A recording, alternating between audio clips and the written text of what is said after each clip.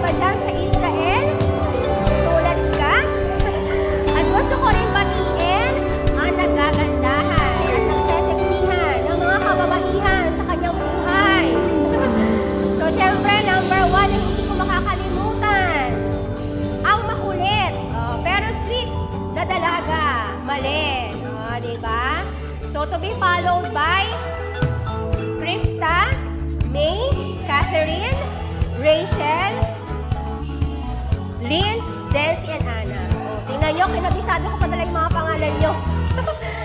so, yung arrangement po ng pangalan nyo, according to Koy Malen, ay according to beauty and kaseksihan. So, payag ka ba?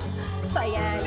So, seriously speaking po, ah, sa totoo lang po, it's a great privilege and honor po for me na maging kaibigan kayo. Lalo na po si Prof. Denver. So, thank you po, Prof. Denver, dahil binigyan niyo po ako ng chance